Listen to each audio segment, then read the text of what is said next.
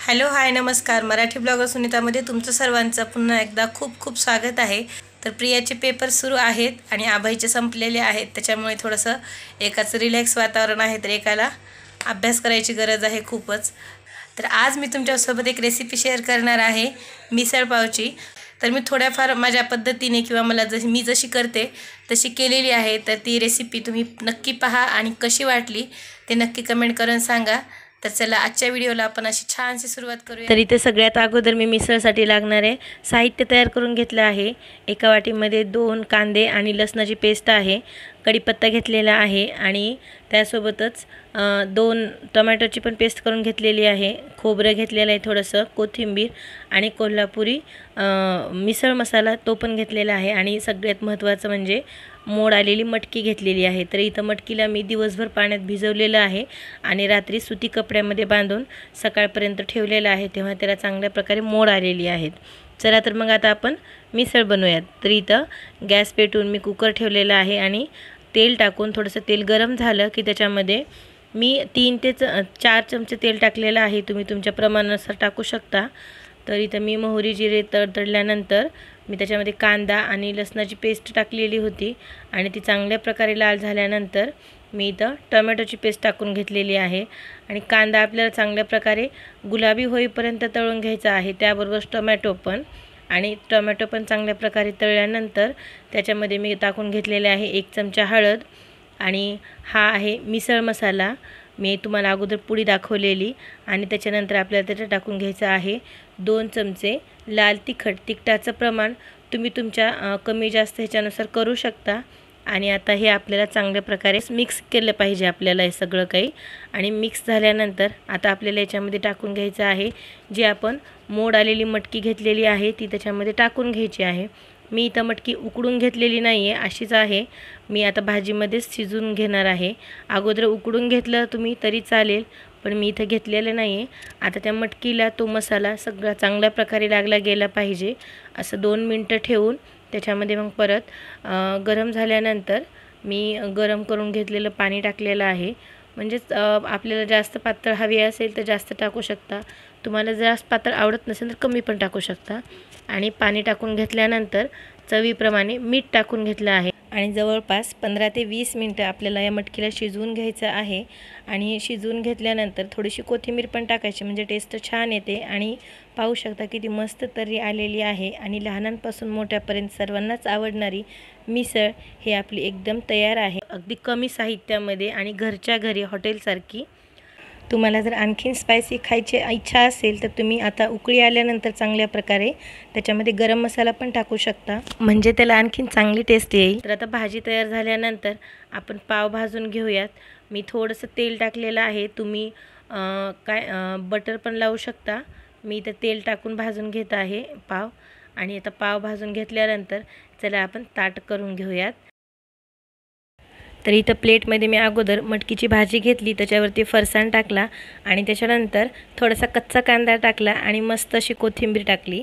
आणि एका वाटीमध्ये कच्चा कांदा खाण्यासाठी तसेच फरसाण लिंबू आणि मस्त असा भाजलेला पाव तर तयार आहे अशा प्रकारची आपली मस्त अशी कोल्हापुरी म्हणा किंवा आपण घरगुती किंवा हॉटेल स्टाईल मिसळ आणि मिसळपाव काही म्हणू शकता आणि मजेदार असं घरगुती जेवण बनवू शकता एकदम टेस्टी आणि यांच्यासोबत नाश्त्यासाठी बसलेला आहे तो आमच्या गावाकडचा एक मुलगा आहे.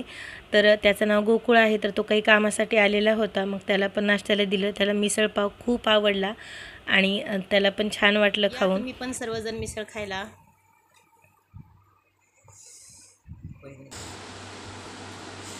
खूप छान अशी मिसळ झालेली आहे. आणि ते खाताना इतका मस्त वाटत आहे ना. अभय तर म्हणते खूप छान झाली. अभय छान झाली ना? हो. हो छान झाले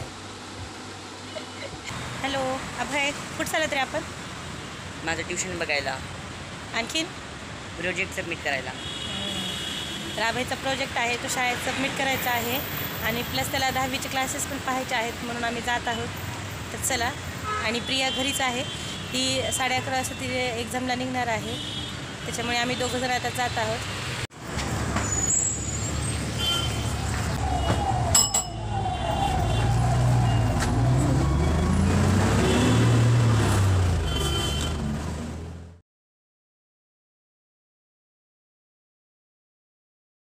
आणि आजचा हा व्हिडिओ मी लातूरून आल्यानंतर दोन तीन दिवसाच्या नंतर केलेला आहे. कारण थोडीशी तब्येत ठीक नव्हती तिकडचं वातावरण चांगलं नसल्यामुळे आल्यानंतर. मग दोन दिवस नाही बनवला आणि प्रियाच्या एक्झाम पण सुरू आहेत डिस्टर्ब नको म्हटलं. आणि कसं अगोदर नि क्लासेसचा अभ्यास केल्यामुळं कॉलेजचा अभ्यास कमी झालेला होता. मग तिला थोडंसं स्पेस द्यावं म्हटलं शांतता घरामध्ये आणि त्याच्यामुळे मी व्हिडिओ पण बनवला नाही. आणि आता चला म्हटलं आज स्पेशल असं बनवत आहोत आपण रेसिपी तर करावा. मला शाळेत पण जायचं होतं त्याच्यानंतर. सगळं काही घरचं लवकर लवकर आवरलं आणि आभाईला घेऊन प्रॅक्टिकलचं सबमिट करायचं होतं. त्याचं प्रॅक्टिस बुक तर ते सबमिट केलं. आल्यानंतर घरी पण भरपूर सारं असं थकवा होता. कारण मुंबईमध्ये सध्या इतकी गरमी होत आहे ना की ऊन कमी असतं पण गरमीच खूप होते. त्याच्यामुळे पण थोडंसं जास्त आपलं हेटिक व्हायला होतं. आणि थोडंसं गावाहून आल्यानंतर आणि प्रिया पण खूप दिवसाला आली आणि आता परीक्षा झाल्यानंतर ती लवकर येणार नाही आहे त्याच्यामुळे तिच्याशी बोलण्यामध्ये गप्पा मारण्यामध्ये किंवा थोडासा वेळ असा तिच्यासोबत घालवण्यामध्येच वेळ जातो. आणि असं वाटतं की आता ह्याच्यानंतर ती एक्झाम झाल्यानंतर येईल किंवा कधी येईल हे माहिती नाही. त्याच्यामुळे म्हटलं तिच्यासोबत थोडासा वेळ घालवावा. आणि जातेवेळेस बरेच मनात प्रश्न होते कारण तिचे पेपर इतके उन्हामध्ये होते ना एक ते साडेतीन हे एकदम उन्हाच्या टायमिंगमध्येच हो, होते. आणि बाराला गेलं तर जायला एक तास लागतं. तर एवढ्या उन्हामध्ये भर उन्हामध्ये तिला जावं लागत होतं आणि ते पण तिला त्रास होत होता. मग कधी सोडायला जायचे कधी नाही. आणि मग असं करत करत दोन तीन दिवस गेले. पण एक्झाम पूर्ण भर उन्हामध्ये होतं त्याचा तिला त्रास होत होता पण पर्याय नाही. टायमिंग तोच होता. आणि आता इथं मी पोहोचलेली आहे शाळेच्या जवळ. अभय गेला आहे अथर्वकडे त्याच्या मित्राला बोलवण्यासाठी. इथंच आहे. पाच मिनिटात तो येत आहे त्याच्यामुळे थांबले आहे मी. अथर्व! इकडे बघ. तू कितवीला गेलास रे आता? आहे बंद केलं होळीच्या व्हिडिओमध्ये पाहिला असेल जो धुलीवंदनचा होता त्या व्हिडिओमध्ये पाहिला असेल की अथर्व हा अभयचा मित्र आहे शाळेतला आणि तो त्याचा स्वभाव पण खूप छान आहे शांत आहे आणि इतका लाजळू आहे ना की जेवढं बोललं तेवढं बोलतो आणि त्याचा स्वभाव त्याचे आईवडील पण खूप छान आहेत आणि मुंबईमधील हा सगळ्यात अगोदर झालेला मित्र आहे आणि भांडतात बोलतात आणखीन एक होतात मित्रांचं असंच असतं. तर आता हे दोघंजण मिळून आम्ही जातात म्हणतात तेवढंच गप्पा पण होतात आणि छान पण वाटतं. चल म्हटलं काय हरकत नाही. तर ही आली शाळा अभयची. जवळच आहे त्याच्या घरापासून. गेली दोन वर्ष मुलं शाळेत येत नव्हती त्याच्यामुळे त्यांना पण छान वाटत होतं यायला. आणि आता हे दोघंजण प्रोजेक्ट सबमिट करून आलेले आहेत. नाही नाही अथर्व पण आहे इथं. मग काय झालं? आम्हाला ते तिथले त्यांना. वॉचमॅन. हां वॉचमॅन काका म्हणत होते शाळेत आला तर युनिफॉर्म का नाही घातला? जाऊन जाऊन जाऊन प्रिन्सिपलला भेटा. मग प्रिन्सिपल ऑफिसमध्येच नव्हत्या मग त्याच्यामुळे सुटलोत आम्ही. मग शाळेत तिथे वेळेस युनिफॉर्म घालून येत जावा. केव्हा पण. आणि तू पण लक्षात ठेवा ठरव तुझ्या अंगात युनिफॉर्म नाही आहे मला माहीत नव्हतं. माहीत नव्हतं? मी तरी शर्ट पॅन्ट घातलं चांगलं टी शर्ट आणि हे पॅन्ट हां फक्त पॅन्ट नव्हती. आहे ना? नाही शर्ट पण वेगळे नाही. अगं पण बाकीच्या मुली पण आलता हो, हो. त्यांना काय म्हणली नाही मला आता दहावीला गेल्यावर भेटा तुम्ही नाही आता भेट नाही. आता दहावीला गेल्यावर भेटा ना. दहावीला तरी जायला काय? दहावीचे क्लास सुरू होणार आहेत ना. दहावीचे क्लास सुरू होणार आहेत ना. मग दहावीलाच जाताना तुम्ही क्लास सुरू झाल्यानंतर? हो. आणखीन तुम्ही नववीलाच आहेत? नववी झाली. साडे नववीला साडे नऊ झाली नाही अजून. जेव्हा दहावीचे क्लास सुरू होतील तेव्हा तुमची दहावी सुरू झाली नववी संपली. आणि तिथून निघाल्यानंतर आभाईचं क्लासेस पाहायचे होते दहावीचे लावण्यासाठी. तर एका ठिकाणी आम्ही क्लासेसमध्ये आलो होतो पाहिलं. आणखीन सुरुवात झालेली नव्हती पण दोन तीन ठिकाणचे पाहिले आणि त्याच्यानंतर घरी आले. आणि पाहू शकता अशा प्रकारे आहे आणि काम पण चालू होतं तिथं.